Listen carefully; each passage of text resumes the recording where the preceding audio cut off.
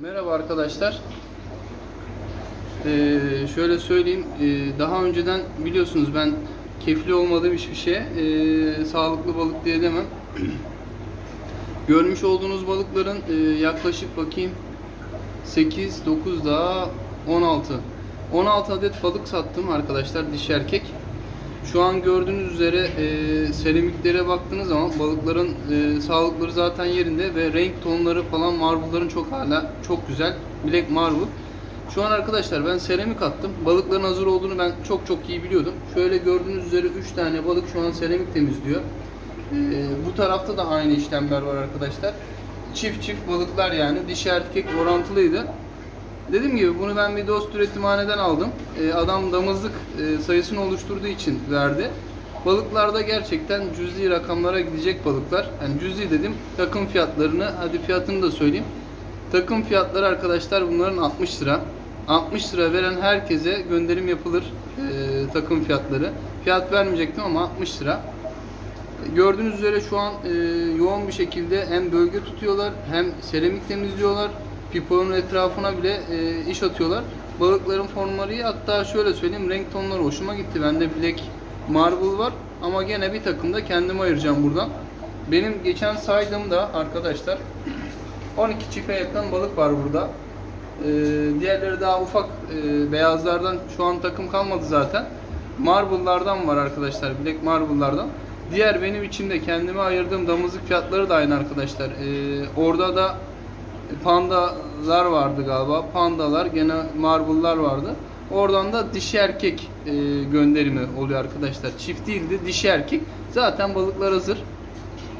Eğer yan yana şöyle bir seramik koyduğunuzda olay e, sizin takibinizde. Bugün diyorum ki hani şuradan 3-4 çift bile çıkartılır ama benim yerim yok. Nereye koyacağım?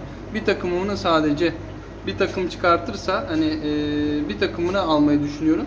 Balıklar deli gibi seramik e, diziyor ve su sıcaklıkları burada 26 ortalama havalar ısındı. 25-26 derecelerde.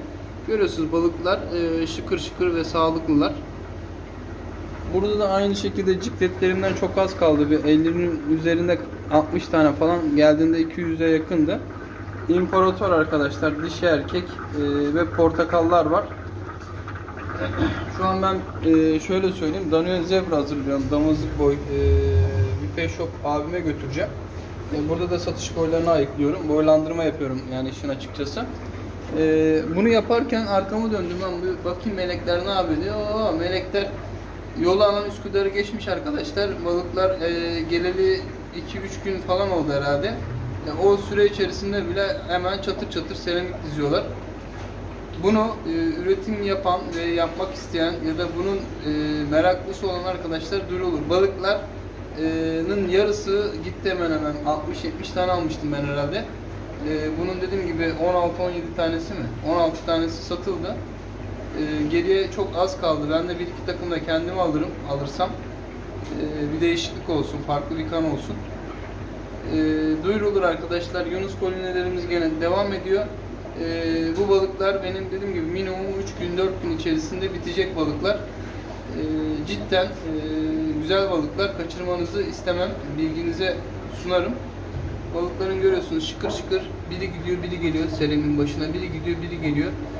Ee, balıklar grup şeklinde bile eşleşme potansiyeli olan balıklar tüpçük çıkartmaya başlamış olan balıklar var.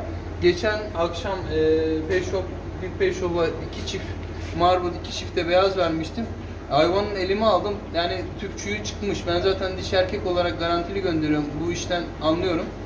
Ee, dediğim gibi diş erkek gönderirim. Ee, eşleşmesi de yaklaşık bir hafta 10 gün sürmez. Buraya geleli 3 gün olduğunda seramik düzüyorsa bu hayvanlar dediğim gibi e, hiçbir sıkıntıları yoktur bu balıkların demektir.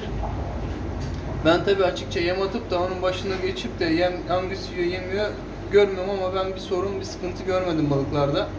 Ee, zaten sorunlu balık olsa ben hayatta satmam arkadaşlar. Bunun da bilgisini sunayım. Ee, görüşmek üzere arkadaşlar. Ben dediğim gibi hem bu buranın suyunu çekiyorum biraz. Oksijen seviyesi azaldı. Hem de buradaki akvaryumları boşaltıp e, boylandırma yapıp biraz işlerle uğraşıyorum. Yani bunu görmüşken e, göstermek isteyeyim dedim. Herkese hayırlı günler, hayırlı hobiler dilerim. Sağlıcakla kalın.